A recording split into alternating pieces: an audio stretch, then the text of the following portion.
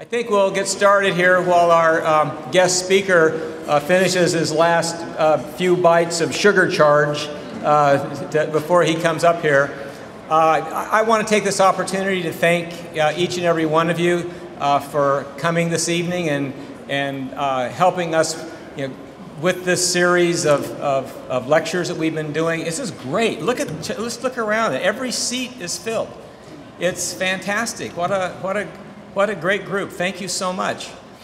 Um, the, the Provost Distinguished Lecture Series is something that, that you know, I thought about doing when I stepped in as Provost two and a half years ago. I'm not Provost anymore, in case you don't know, but, but uh, when I stepped in, I thought we would do something like this because I thought it was really, really important for us to bring in thought leaders to ASU. And I meant thought leaders who are thinking about big things, not simply thinking about science and engineering and technology. I, I, mean, I think that's really important, but often we get caught up in that, and that's more tinkering. I mean, people who are thinking, the, thinking outside the box. But particularly, I was interested in, in setting up a series where we brought in outstanding international figures who met at the intersection of the humanities, the social sciences, and the natural and physical sciences.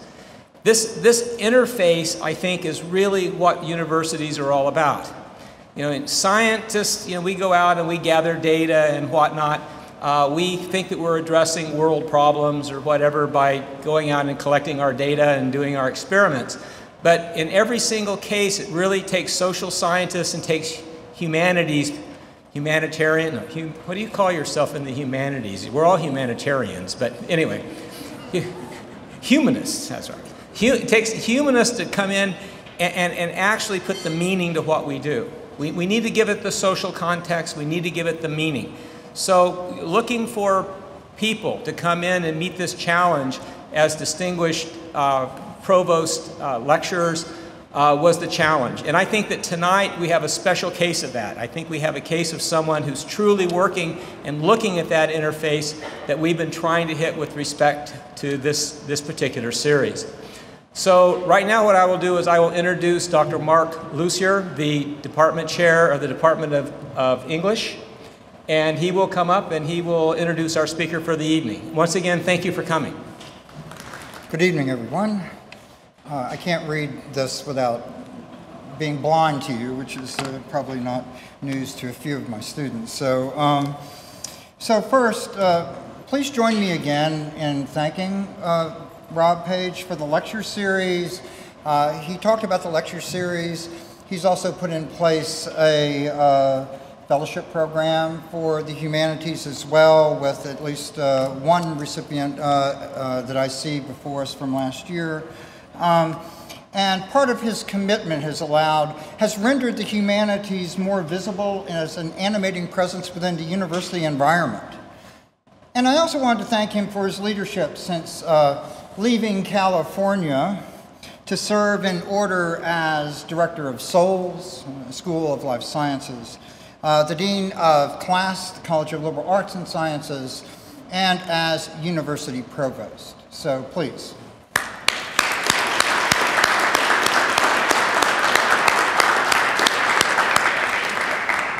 As well, I'm grateful for the support uh, of those that Rob uh, mostly put in place in the Office of the Provost. Uh, most especially Margaret, or actually as it turns out, as we know her, Peggy uh, Colum, uh, uh, who has been a, always been a strong supporter of our department and our diverse efforts and interests. Most especially, I want to thank an individual not with us tonight physically, but who is very much in my heart and head. George Justice, Dean of uh, the Humanities and the College of Liberal Arts and Sciences.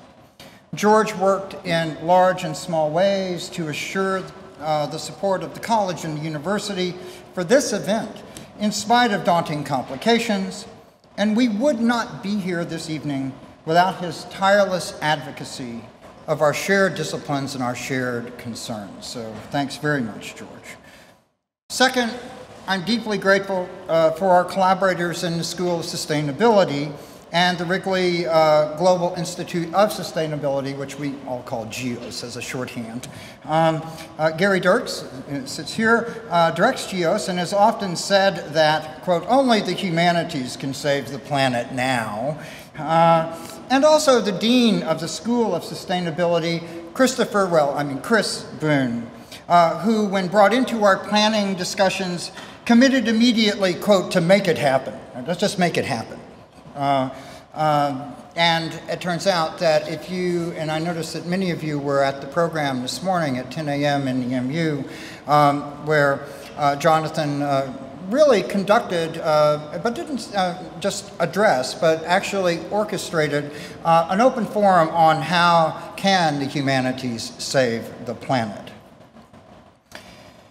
Now, their openness to collaborations uh, with the humanities, and I'm still with uh, GIOS, uh, including bringing a number of us uh, into, their, uh, into their bosom, so to speak, um, as senior sustainability scholars, has been a positive force for humanities, programs, and scholars seeking through skillful means to confront the current crisis, to engage those wicked problems that define global climate change, and to identify the parameters of those conditions that shape planetary entry into the Anthropocene.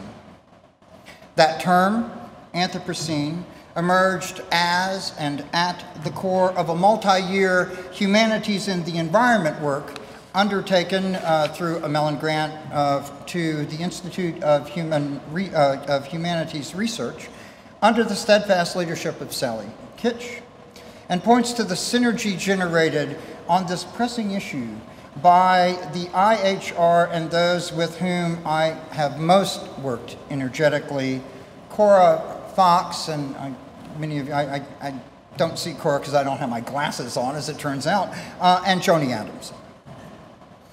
Third, the number of people in the Department of English who have had a hand in uh, the making of this evening, and actually since um, uh, since Jonathan arrived uh, four days ago. It's uh, the actual the last four days. Uh, is is just it's, they made it possible, and it's just too large a group to list here. Yet I thank all, from professors and graduate students to the large number of staff involved in putting all the pieces in place.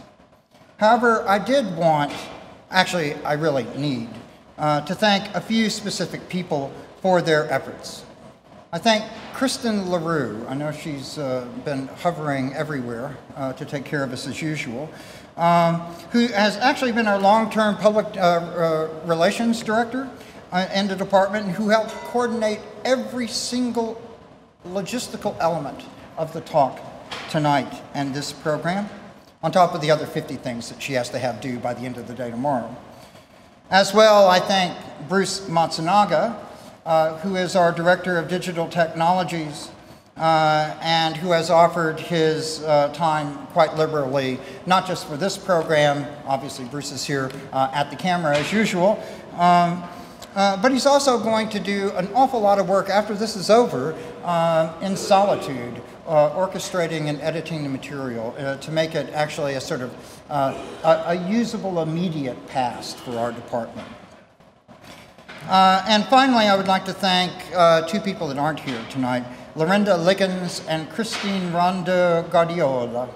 Uh, they're members of our financial team who were responsible for processing everything needed to facilitate such an enterprise and securing the support of, uh, for this particular event and virtually all others uh, that come out of our department. And so thank you one and all to the mission at hand, I suppose. Uh, I'm not long for long, I'm not one for long dirge-like introductions. Uh, and tonight, such a genre, uh, I would argue would be most inappropriate given the spirit that has animated the last 25 years of work commenced and completed by tonight's speaker, Sir Jonathan Bate. Uh, Jonathan is Provost of Worcester College, and a professor of English literature uh, at uh, University of Oxford. Uh, he has wide-ranging interests in Shakespeare and the Renaissance, uh, Romanticism, biography and life writing, eco criticism, contemporary poetry, theater history. Oh, and there was a novel that you happened to write too, uh, uh, squeezed it in in his spare time. Uh, uh, he is extraordinarily productive. Uh, I can't actually, I mean, I've got a long list of all the books, and you know, just do yourself a favor if you want to look at all of them. I don't have time to list them. Um, uh, but just uh, type in John's name and do a Google search. Uh, you'll have reading for the afternoon at least, or the evening perhaps. Um, however, in my case, uh, as a European Romanticist, uh, I simply needed to get out of my desk when I was writing this and wander over to my bookshelf, and I picked up the first three books under a rather healthy chunk, organized alphabetically under the last name Bate. So I'm going to start with, uh, and actually it turned out that they happen to be in the order in which I encountered them. So, uh, so first, from the introduction to the Romantics on Shakespeare, that is, near its conclusion. It is fashionable to be skeptical about the idea that art can provide reconciliation in the face of suffering and death. But it is empirically true that Shakespeare helped the Romantics to endure they're coming hither and going thence. And going hence. Uh, one of the things that uh, I found uh, most interesting as I was putting this together is not only did that resonate with the type of connective work that, um, uh, that Professor Bate was doing back then, uh, but it actually continues to this day. Uh, and it came forward in conversations actually in the last two days about his interest in medical humanity.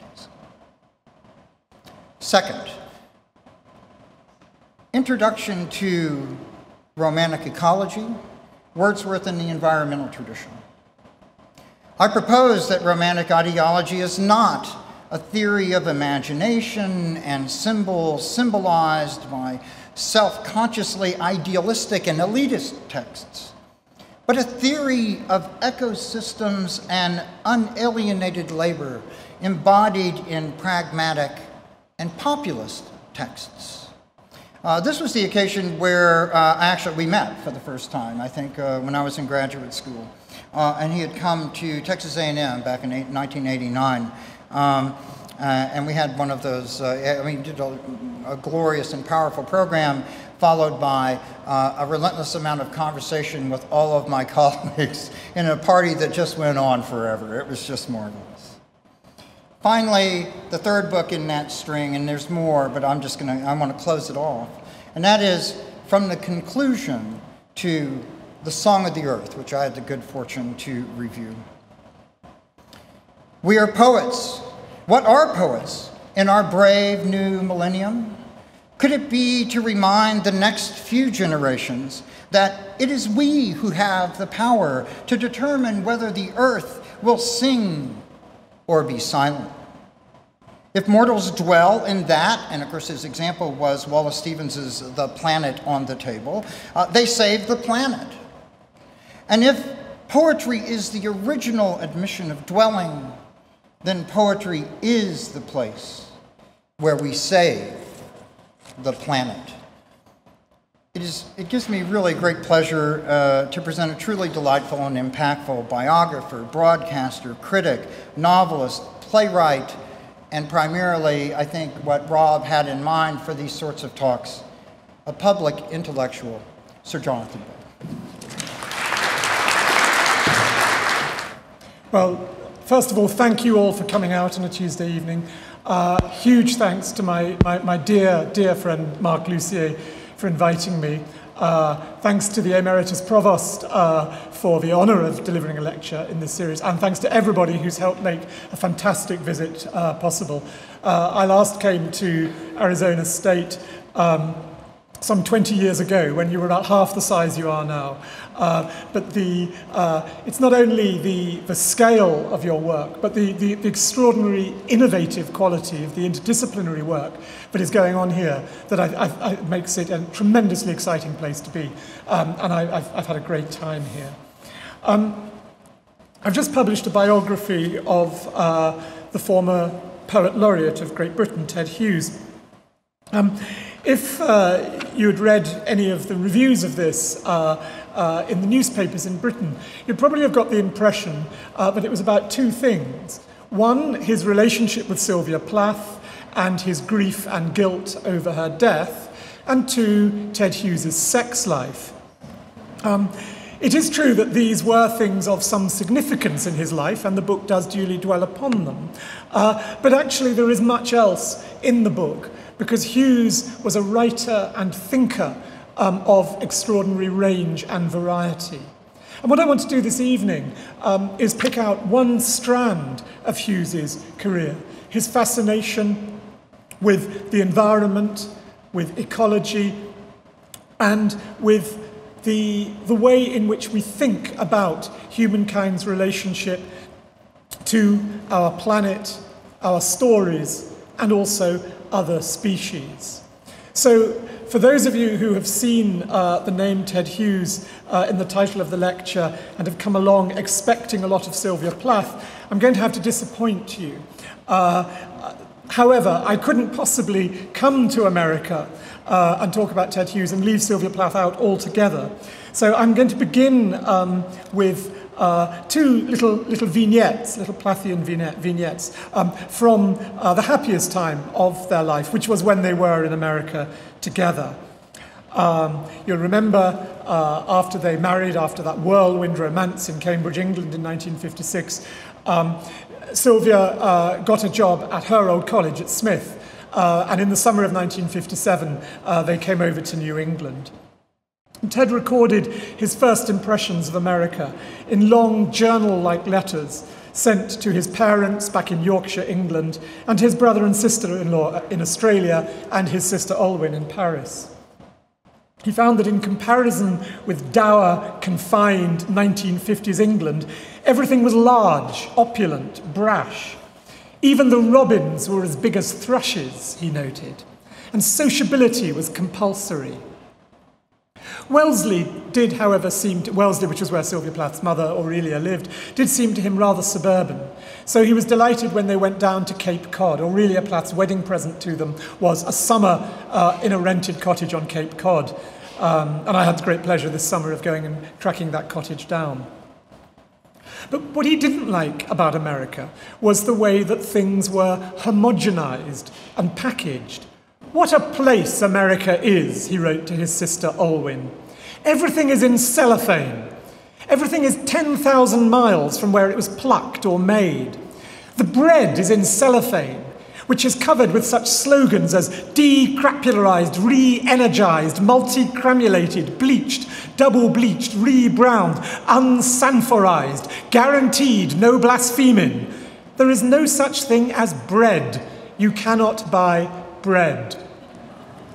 So there was Ted Hughes in the summer of 1957 worrying about processed food, worrying about what we now call food miles, food 10,000 miles from where it was made.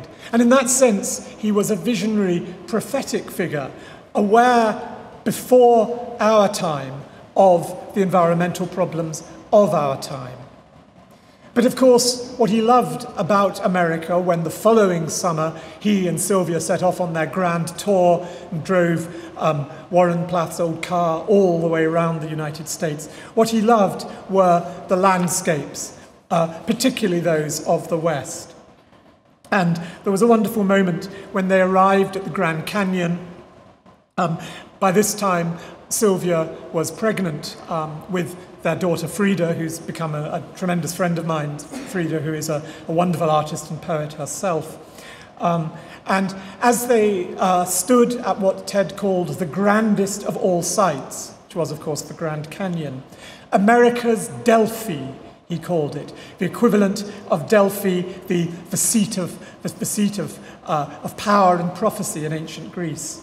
There they sought a blessing on the baby in Sylvia's womb, Navajo dancers, standing on the rim of the greatest gorge in the world, beat a drum, sounding an echo that in a poem written 30 years later, Ted imagined he could hear faintly in the voice of his own daughter. The blessing on Frieda at the Grand Canyon. But The aspect of the book that I want to focus on takes us a long way from Sylvia Plath and the tragedy of her death. The question I want to ask is Was Ted Hughes an eco warrior or an eco worrier? The eco worrier speculates and theorizes about our environmental crisis and humankind's alienation from nature. The eco warrior tries to do something about it.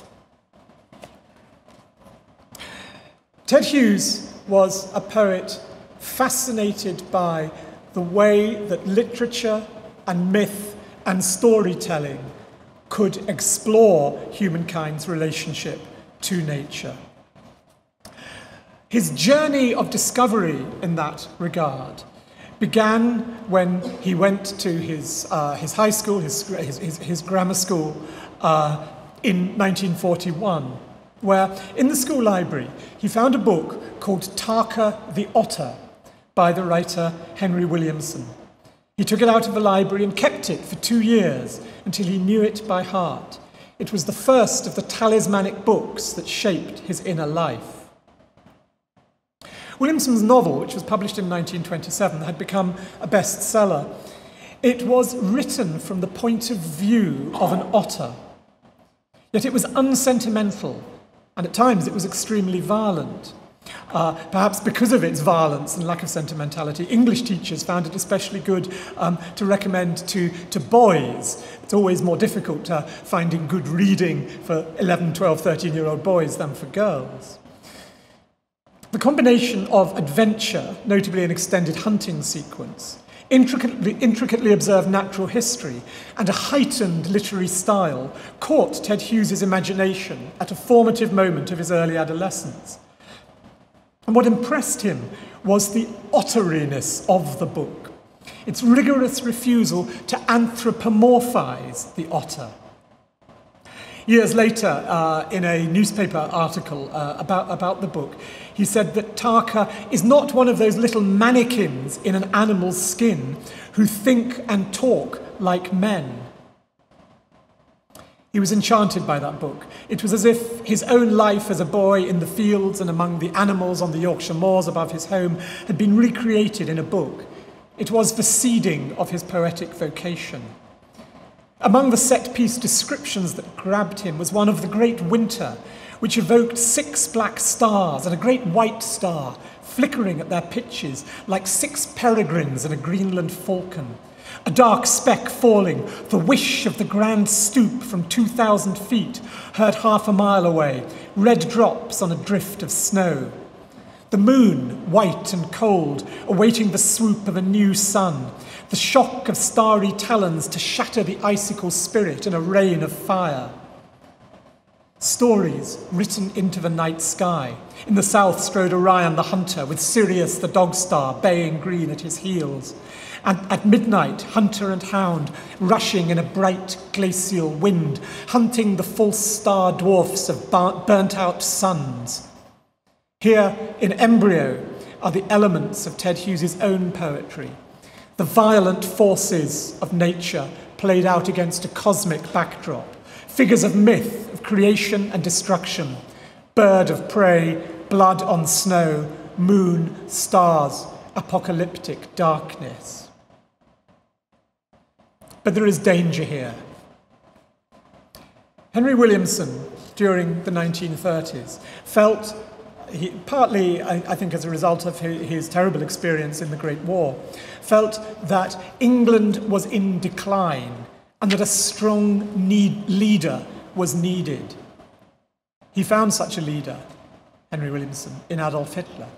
Williamson attended the Nuremberg rally in 1935, was inspired by Hitler's charisma. He idolized Oswald Mosley, the, the founder, the leader of the British Union of Fascists, and that would turn him into a pariah in the literary world.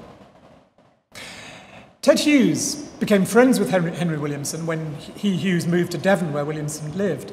So he found himself in a difficult position when, on Williamson's death, he was asked to uh, give a memorial address in the Church of St Martin's in the Field, a, a very prominent church in London. And there he did not shy away from Williamson's ugly politics.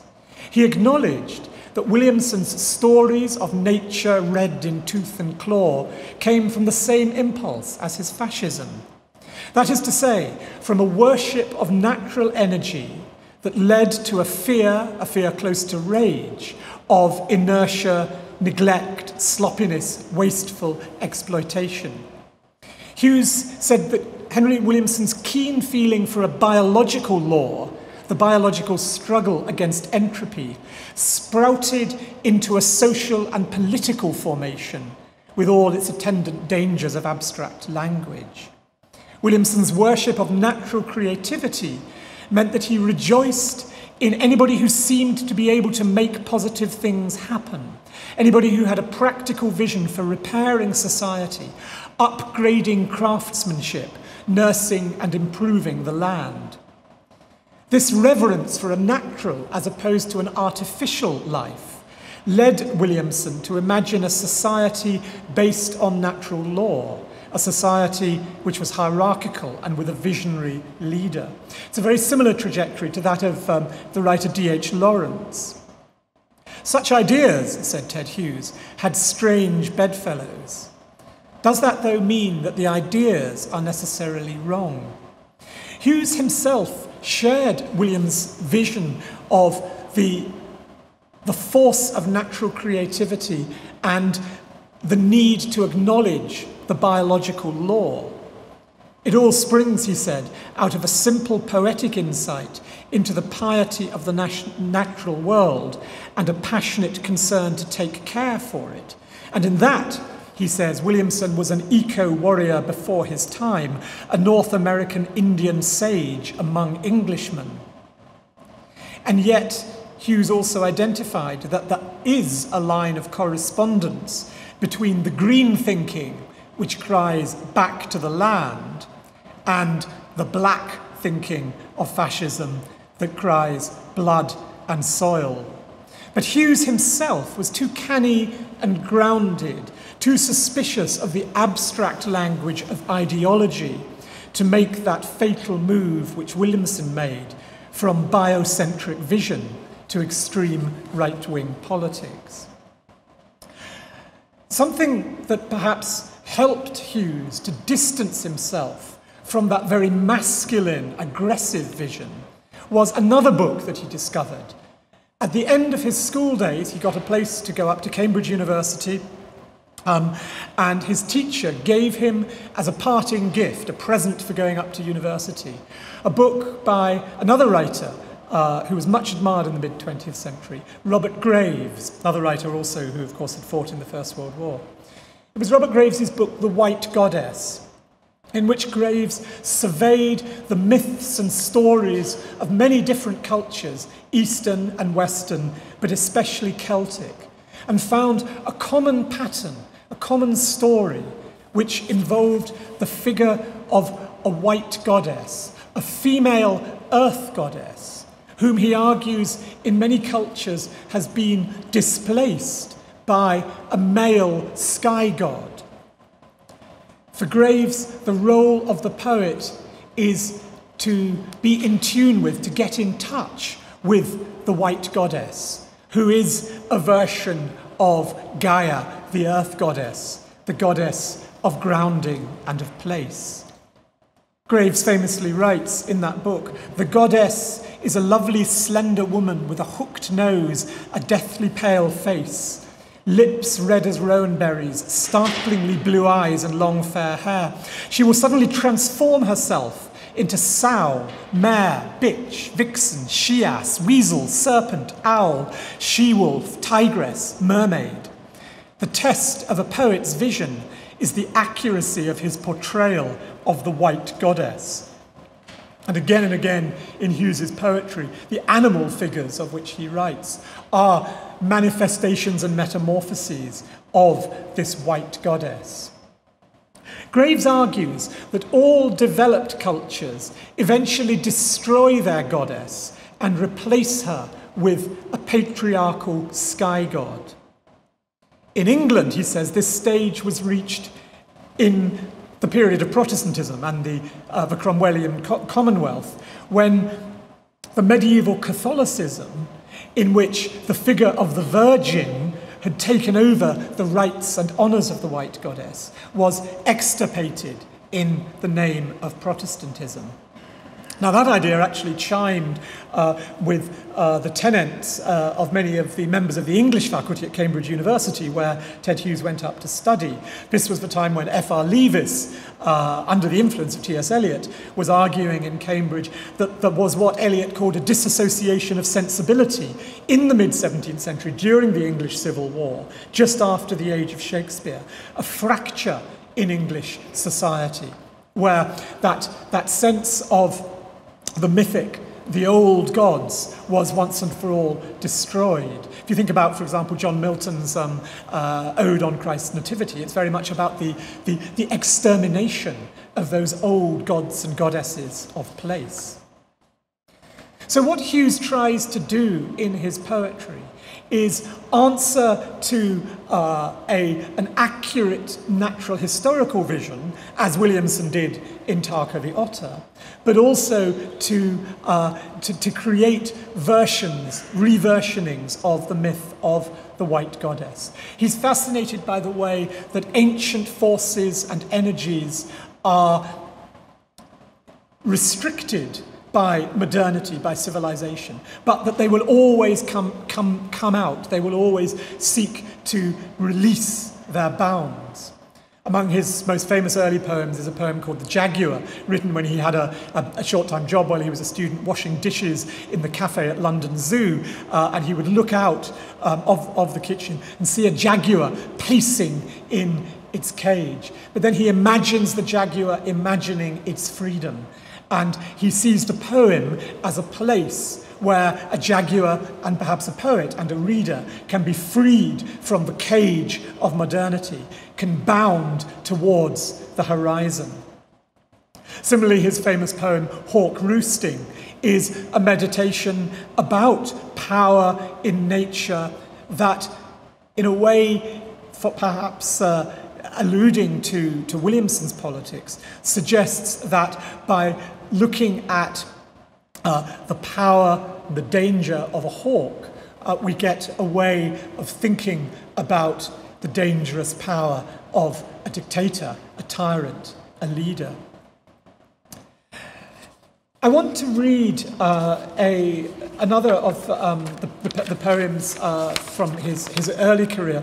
This was published in Lupercal, uh, his, his second volume, uh, which I think is his, his, his, his greatest book, uh, written at the time when he and Sylvia were working very closely together. Uh, he finished the book when they were, they were on writing fellowships at, at Yaddo.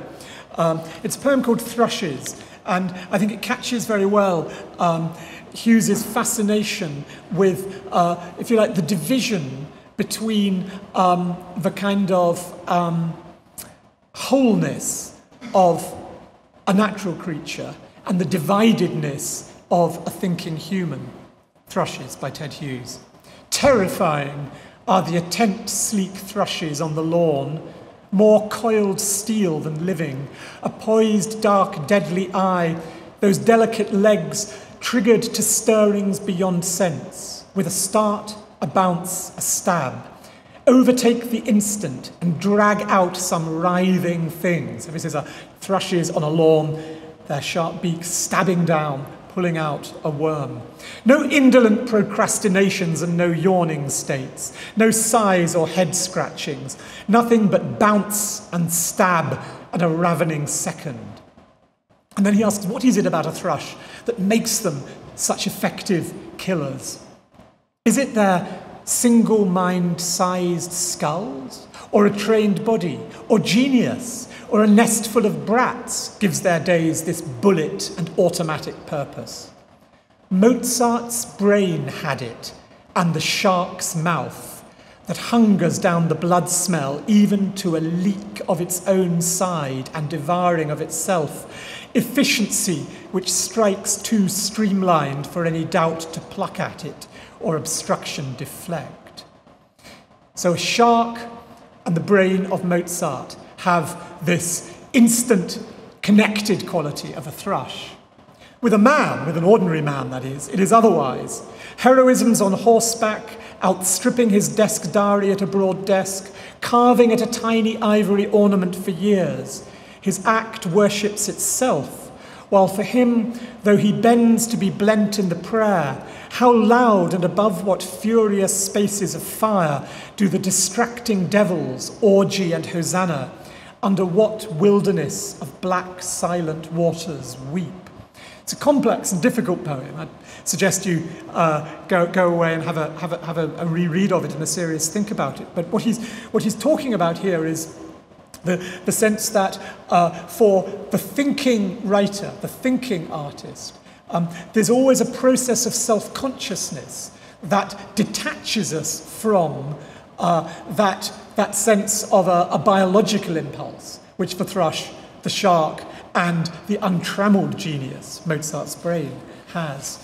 Um, and I think it's in a fascination uh, with the way in which the poet can simultaneously be the person who reconnects us to nature and biological process, whilst also constantly acknowledging that as thinking beings, users of reason and users of language, we are always at some level at a distance from, apart from, detached from nature.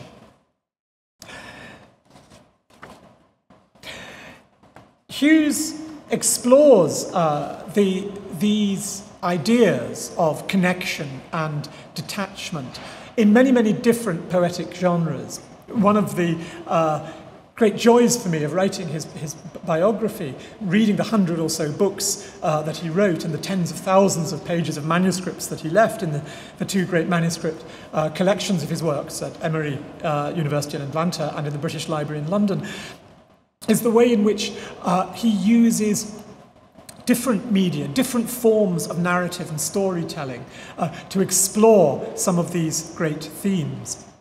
For instance, he writes extensively for the theatre. He also uh, translates um, poetry and drama uh, because his, his uh, translation of uh, 15 of the stories in Ovid's Metamorphoses, his Tales from Ovid, is one, was one of the great works of his late career. But he also explored these ideas in the genre of children's literature. Um, and uh, in 1969, uh, which was a very uh, traumatic time in his life. It was the time that his, his second lover, Assia Wevill, killed herself um, and, and indeed killed their daughter, Shura. Um, during that time, um, he published uh, a children's book. He had published a number of children's books before, but this was the one that really uh, seemed to catch the, the, the imagination of, of, of many, many people. It was called The Iron Man, uh, although in America, uh, I think because uh, the title the Iron Man was sort of, uh, associated uh, with a, a, a particular um, Marvel comic figure, it was called the Iron Giant over here. Um, and indeed, over time, it proved to be Ted Hughes' best selling and best loved work, establishing him as one of the world's leading children's authors, as well as one of its most admired poets. The story begins with a giant figure teetering on the edge of a cliff and then tumbling into a mighty fall down to the beach below. Uh, it's interesting at the same at the time that he was doing this, uh, he had just finished working with the great theatre director Peter Brook on an extraordinary um, uh, production of Seneca's Oedipus, and Brook then proposed that Ted Hughes should write him the screenplay for a movie version of King Lear, uh, which which Brook had, had, earlier staged at the Royal Shakespeare Company. In fact, the collaboration didn't work out. Uh, the the Peter Brook King Lear film with Paul Scofield did eventually appear, but not with the Ted Hughes script. Um, but uh, I think Hughes was thinking about Lear, and the, the idea of a, a mighty figure falling from a cliff to a beach is, of course, one of the climactic moments in King Lear. Well, the broken man of iron is then reassembled by seagulls. Uh, they begin by picking up his eyeball, which may be another nod to King Lear. It is a version of something that Hughes had discovered in a book that was of enormous importance for him, um, uh, which was uh, Mircea Eliade's book, Shamanism. Uh, uh, shamanism, which explores the idea again in many, many different shamanic traditions uh, of a ritual dismemberment of the body and then a renewal of the organs. The Iron Man then starts eating tractors, diggers, and any other farm machinery that is made of iron, not to mention chewing up barbed wire fences, his equivalent of spaghetti. The figure who saves the farmers, the guardians of the land, from this terrifying creature is a boy called Hogarth. We first see Hogarth fishing, and he's very much like the young Ted Hughes, who, who all his life was a great fisherman. Or perhaps he's a little bit like the young William Wordsworth. He blows mimic hootings to owls. Um, so, what then happens is that the, the boy Hogarth sets a trap for a fox and catches the Iron Man instead. And then, when the giant re emerges from the pit in which he's been caught, Hogarth leads him away from the farms to a scrap metal yard. And at that point, a giant space bat angel dragon lands on the Earth. Uh, the, I think there's a, something of an influence here, actually, of W. G, G, uh, of H.G. Wells's um, great, great novel, The War of the Worlds, which uh, Hughes read and enjoyed as a schoolboy. Um, so what then happens is that humankind uh, uh, uses all its assembled military might uh, to try to destroy this monster from the stars, but to no avail. Because we're, we're in 1968-69 here, a time where spaceflight uh, is all the rage. I mean, Apollo 8 is about to be launched as, as Hughes is writing this. But then the Iron Man saves the day when, out of gratitude to the boy Hogarth, who's led him away from the marauding farmers, he fights on Earth's behalf. He tames the space bat angel into singing the music of the spheres instead of waging cosmic war, with the result that human beings become peaceful, stop making weapons, and live in global harmony. Well, what on earth is this story about? Uh, at one level, given that it's published on the eve of the, pra- the Prague Spring, it's a dream of the end of the Cold War it's an imagined realization of the idealistic goals of the campaign for nuclear disarmament. It's very interesting. Uh, I mentioned uh, Sylvia Plath being pregnant with Frieda Hughes. When she, uh, after she gave birth to Frieda uh, in London in 1960, the first time Sylvia Plath took Frieda Hughes out, it was on a campaign for nuclear disarmament march. But at a deeper level, the story of the Iron Man gives vivid and compressed form to many of Ted Hughes's key themes. When asked about its meaning, he said that his essential idea was to dramatize the three centers of power.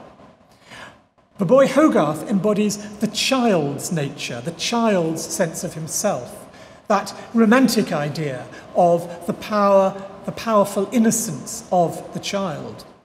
The Iron Man, Hughes says, is the giant robot of technology, terrifying and destructive, uncontrollable and inhuman, unless it is approached without fear, but with patience and good sense. A wonderfully sort of balanced sense of uh, what our relationship with technology should be. As for the space bat angel dragon, it is, he says, the infinitely mysterious life power that emerges from atoms, the biological psychic mystery of organic being. That latter force is also terrifying and destructive, uncontrollable and inhuman. Unless approached without fear, it needs to be approached with firmness, courage, open mindedness, cunning, and kindness. The story, Hughes says, is a ritual by which the child and these two monstrous entities are brought into a single, inclusive, integrated pattern of behaviour and awareness in a shared life that is happy and peaceful. Humankind, technology, biological forces held together in harmony. That's the vision that he offers. So, say 1968, uh, he's, he's, he's, he's, he's working on this, it's published in 1969. Um, it, in a sense, at this point, Hughes is still an eco worrier. He is thinking about questions of humankind and nature, thinking about how we relate to the planet, um, how we uh, relate to animals. But he's not engaged in practical action. But just before Easter 1970, as he was preparing um, his, uh, his great epic poem Crow for publication, he was asked to write a book review of a book called The Environmental Revolution. And this intervention heralded a highly important new direction in his work. The book was written by a man called Max Nicholson, who was formerly uh, the director of the British uh, government agency, the Nature Conservancy, the equivalent, the British equivalent of the Environmental Protection Agency. And it was a history of the conservation movement. In his review, Hughes dated the modern awareness of impending ecological catastrophe to the publication in 1961 of Rachel Carson's Silent Spring that indictment of the effects of the pesticide DDT. And Hughes writes here with great authority about vanishing songbirds, the erosion of topsoil, the pollution of rivers, and the threat to biodiversity represented by the monoculture of the conifer plantations of the Forestry Com Commission. But in typical Hughesian vein, he places these scientific facts in the context of a much bigger picture a story about Western man's increasing alienation from nature. Christianity, he argues, especially in its Reformation version, its Protestant version, sees the earth as a heap of raw materials given by God to man for his exclusive use and profit. It has no time for creepy crawlies and little respect for women. Is Hughes. The subtly apotheosized misogyny of Reformed Christianity is proportionate to the fanatic rejection of nature, and the result has been to exile man from Mother Nature, from both inner and outer nature. So here Hughes is pulling together several threads. The idea uh, derived from his studies in anthropology that human society has evolved from matriarchy to patriarchy. The narrative here developed out of Graves' Graves's White Goddess, in which the fecund female earth goddess is displaced by quarrelsome male sky gods. And his reading via Shakespeare and Milton, as well as, as Graves, of the Reformation and its suppression of the cult of the Virgin Mary. He finds hope at this point in the stirring of ecological consciousness, the emerging green movement, since it represents something, he says, writing in 1970, that was unthinkable only 10 years ago, except as a poetic dream. The re emergence of nature as the great goddess of mankind and the mother of all life. And obviously, there's a vein of thinking here that will, will tie into uh, some of the thinking around the whole Earth catalogue and the, the phenomenon of Gaia in the 1970s. Well, having published that review, along with some ecologically minded friends, Ted Hughes launched a magazine called Your Environment, which was intended to alert the public to questions of conservation. For example, the question of the disposal of nuclear waste, by gathering all the scientific evidence and making it accessible to a wide public, though with more rigour and detail than there was room for in the Sunday newspapers and in debates on radio and television. So, this is the moment that Hughes begins to turn from eco worrier into eco warrior. And for the rest of his life, he pored over research papers, clipped out news stories, wrote to politicians, and became involved in local environmental campaigns. His ecological mission was of a piece with his poetic vision. In that essay on the environmental revolution, he wrote of the mental disintegration and spiritual emptiness that characterized the soul state of our civilization. And that, in a way, is a very similar impulse to that of the Crow poems. But he also wrote of how the true artist, whom he describes as a mediumistic figure, like a medium, able, as it were, to converse with the dead, the true artist, he says, has the capacity to see a vision of the real Eden, to release the spirit of Pan, to restore humankind to nature while the mice in the field are listening to the universe and moving in the body of nature, where every living cell is sacred to every other and all are interdependent, he rhapsodizes. The developer, the property developer that is, is peering at the field through a visor, and behind him stands the whole army of madmen's ideas and shareholders impatient to cash in the world. Poet and conservationist, he believes, must unite and rise up against the spirit of the developer. He then, as it were, put his money where his mouth is, and in the course of the 1970s, he became a farmer. He and his second wife, Carol, uh, kept a farm in Dartmoor, and they tried uh, to farm, as we would now say, organically. Uh, they struggled financially. Um, but as a farmer poet, uh, the his poetry of, of this period has a, a, a, kind of groundedness and unsentimentality, a, a real sense of uh, getting the hands dirty and bloody. Uh, which means that he does not idealize nature in the way that so many poets through the centuries have. If one thinks of the, the traditions of pastoral poetry, the idealization of the life of the farm, uh, Hughes is, is no soft pastoral, it's a hard pastoral. Uh, he wrote a, uh, a collection um, of, of, of poems in a kind of diary form about his time farming. At the, his farm was called Moortown, which is what the collection was called. Um, and among them, uh, there's a remarkable poem called February the 17th, um, uh, an unforgettably vivid account of the abortive birth of a lamb, in which the only way uh, that he's able to save uh, a, a sheep uh, is by hacking off the head of the lamb.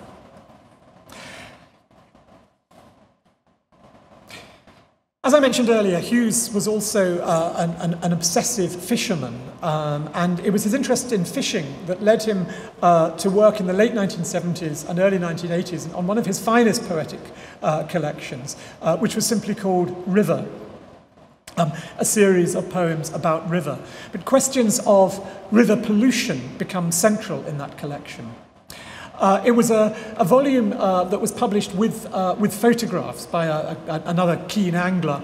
Um, and uh, the, the, the, origin of the volume has an interesting history, which I talk about in the biography, because uh, his publisher, Faber and Faber, said, well, uh, publishing colour photographs in a book is, is, is very expensive. We need a sponsor for it. Uh, so they initially uh, went out um, to see if the petrochemical giant Shell uh, would, be, would be willing to sponsor it as a, a Shell Book of the River. As part of their, what we would now call their kind of corporate social responsibility, Shell did publish a, a, a number of books about the environment. Um, that didn't work out, but then uh, they, they, they discovered um, that uh, British Gas, the, the nationalised um, gas utility, uh, company were, at the process, were in the process of laying gas pipelines across much of Britain because this was the time when North Sea oil um, had been discovered. Uh, and so um, uh, Ted Hughes found himself in conversations with the public relations department at British Gas, who, who ended up sponsoring uh, the book and sort of paying for the photographs, um, on condition uh, that um, a number of photographs were added, which revealed the uh, ecological responsibility of British, British Gas's uh, laying of the pipes. So among the captions to the photographs, we, we, we get this. The Scottish Dee has been called the river flowing out of paradise. A British gas pipeline crosses the Dee, crosses the Dee unseen and unheard at this point. Uh, and, and, then again, against another uh, caption um, by a picture with a poem, a salmon, undisturbed by the large gas pipelines in the riverbed, moves in a pool on the River Don. British Gas, in close consultation with the river authorities, has crossed many rivers in bringing the pipeline southwards. So he is perhaps a little uh, compromised there uh, in uh, the, the, the, the manner in which the book was published. However, uh, uh, the volume River did also gain the support of the Countryside Commission, the, uh, the, the non-government organisation that dealt with conservation. And so Ted felt that his conservationist credentials were honoured. In a letter written just after the book's publication, he noted that 20 years earlier, the Taw and Torridge rivers on which he fished and about which many of the poems are written had produced a third of all the salmon caught in the West Country of England. But by his calculation, the catch on the Torridge in the last year was a mere 43 fish, whereas it used to be well over a thousand. The river, he said, had become a farm sewer. He had actually been writing those river poems uh, in conjunction with a campaign that he was involved in against a new sewage works in the nearby town of Bideford. And local anglers took the lead in forming the Torridge Action Group, and they planned legal action against the Southwest Water Authority. And Ted Hughes actually was their lead spokesman at the public inquiry um, objecting to uh, the sewage uh, plantation works. He marshalled an array of evidence and produced charts showing the decline in catches uh, to reports from local doctors um, about the, uh, the, the, the, effect of the sewage work on, on, on local residents. So, an example there of Hughes uh, engaging in a, a local campaign. And so it was that once he became Poet Laureate uh, in 1984, after the death of John Betjeman, he suddenly had a public platform a poet had a voice in national discourse, an ability to make things happen. And uh, I want to close uh, with um, a, a, segment um, of my book where I describe uh, uh some, some of the things that he did as uh, in which he was, uh, as I would put it, the poet laureate as eco warrior. So I'm going to read for about five minutes now, and then there'll be time for, for questions. On the 4th of June 1987, just over a week before the general election in which Margaret Thatcher coasted to her third successive term as Prime Minister, Ted Hughes published what he called an ecological dialogue in the Times newspaper. It was headed First Things First, and it was subtitled An Election Duet Performed in the Womb by Fetal Twins. It blamed man's headlong obsession with economic growth, and more particularly, the policies of Western governments and the regulations of the European Economic Community for a mountain of wasted butter, for contaminated tap water, leukemia brought on by pesticides sprayed on grain fields, and even the phenomenon of cot death. The price of increasing the gross national product, he argued, was leafless trees rivers without fish, and human beings suffering from pre-senile dementia. The poem begins in loose iambic pentameter and ends in brisk rhyming trimeter, but it contains in the middle the two longest and perhaps least poetic lines of verse that Hughes ever wrote, but they are interestingly polemical. This is, this is like Walt Whitman on overdrive, these two lines I'm about to read. And if the cost of annual expansion of the world chemical industry taken as a whole over the last two decades is a 40% drop in the sperm count of all human males, nor can God alone help the ozone layer or the ovum, uh, or the ovum then let what can't be sold to your brother and sister be released on the third world and let it return by air and sea to drip down the back of your own throat at night. Oh. He explained to a fellow poet that pollution was the great theme of the age. He had noticed, judging children's poetry competitions, which he often did, how it was something that even six and seven year olds were worrying about.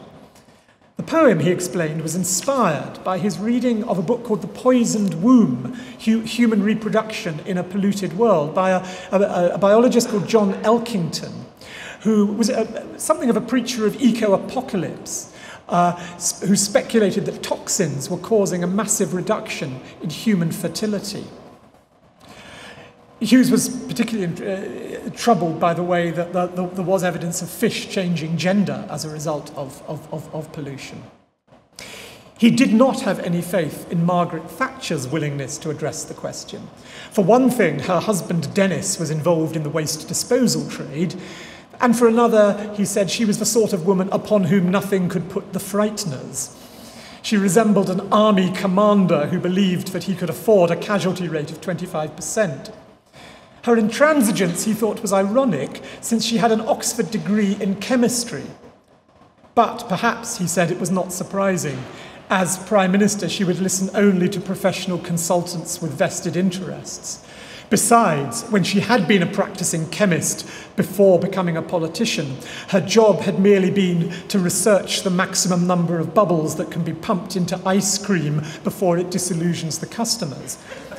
A fact about Mrs. Thatcher that I didn't know before discovering it in Ted Hughes. Ted at this time was worried by bubbles of another kind. One of his fishing friends lived in a house on the River Exe and had observed a white foam boiling up on the weir where he fished. There was a sewage works a little way upstream. He would eventually bring another civil case against the water authority. And Ted offered his usual support. The headline in, uh, in, in the local newspaper read, Top Poet in Water Fight. Inspired by Ted, his fishing friend and his lawyer dramatically invoked the rights enshrined in the Magna Carta. The judge, perhaps getting into the poetic spirit of things, compared the relevant stretch of, witter, of river to the face of a beautiful woman scarred by disease, kind of metaphor Ted would rather have liked. And against expectation, uh, the fishermen won their case. And Ted Hughes told the press it was a historic victory because it had reactivated the power of the common law in this terrific issue of water quality in rivers. And then I think very, very nobly, instead of seeking damages, uh, his, his fishing friend Ian Cook asked the Water Authority uh, to contribute to the research of the Institute of Freshwater Ecology into the polluting effects of detergents um, in, in the Exe. And that established uh, a connection uh, between Ted Hughes and the ecotoxicologist John Sumpter, who was working on that phenomenon of, of how endocrine disruptors were causing male fish to change gender. Well, that ecological dialogue during the, the 1987 election campaign and the court case against the Southwest Water are just two of the many instances in which Hughes used his public profile as poet laureate to address environmental concerns. Whether it was ammonia in the River Torridge, a proposal to establish a Tarka the Otter trail that risked disrupting the fragile ecosystem of the riverbank, an amusement park beside a river in his native Yorkshire, or an international campaign to save the black rhinoceros, he was always ready to pen a protest. And he always made it clear that his concern for the natural world was also concern for humankind. He did so most forcefully, forcefully in an interview on the occasion of the publication of his most overtly ecological children's fable, The Iron Woman, a sequel to The Iron Man. There he said that most people tend to, to defend or to rationalize the pollution of water. The general assumption was that environmentalists were merely defending fish or insects or flowers. I mean, how often is this said about environmentalists in the States today? Merely defending fish or insects or flowers. I was sit, sitting next to a businessman on my, te- uh, on, on, my flight from, from Texas into Arizona uh, who, told, he, who said to me, uh, uh, We can't do anything in this country because we have a lame duck president who even believes in the rights of centipedes. And I kind of wanted to say to him that uh, Ted Hughes would have had some interesting thing to say about the rights of centipedes. But Hughes's point here is that to, to dismiss environmentalism as merely defending fish or insects or flowers misses the point that, as he puts it, the effects on otters and so on are indicators of what is happening to us. The issue is not so much to look after the birds and bees as to ferry human beings through the next century. The danger, he writes, is multiplied through each generation. We don't really know what bomb has already been planted in the human system. So, with the Cold War at an end, the old image of the fear of nuclear annihilation that had underlain many of his earlier poems, and indeed some of Plath's, was translated into fear of global ecocide. Such was the life of the poet laureate as eco warrior. He always enjoyed describing his environmental discoveries and interventions in lengthy letters to his son, Nicholas, his beloved son, uh, who studied uh, biology at Oxford and uh, then went to become uh, an extremely distinguished um, professor of freshwater ecology at the University of Fairbanks in Alaska. Ted Hughes was also very good at providing long distance paternal advice to his son Nick. When Nick broke up with his long term girlfriend, Ted comforted him with the story uh, of his own life, oscillating, as he put it, between fierce relationships that become tunnel traps and sudden escapes into wide freedom when the whole world seems to be just there for the taking. It's a letter of extraordinary beauty, wisdom, and tenderness you can find in the selected letters of Ted Hughes, which tells of the inner child within us, going back to that figure of the child in the Iron Man, and the paradox, as Hughes puts it, that the only time most people feel alive is when they're suffering, when something overwhelms their ordinary, careful armour, and the naked child is flung out into the world. There is a key there to the source of the cathartic power of poetry. That's why the things that are worst to undergo are best to remember, Hughes writes. And then he concludes, and this is a moment where I think his ecological consciousness merges uh, with his human compassion. This, he says, is how we measure our real respect for people by the degree of feeling they can register, the voltage of life they can carry and tolerate and enjoy. And it seems to me the greatness of Hughes as a thinker and as a poet is precisely in the degree of feeling, both for humans but also for the planet, that he does register, the voltage of life that he carries in his work. He then says, in typically self deprecating way, end of sermon as Buddha says, live like a mighty river. Thank you.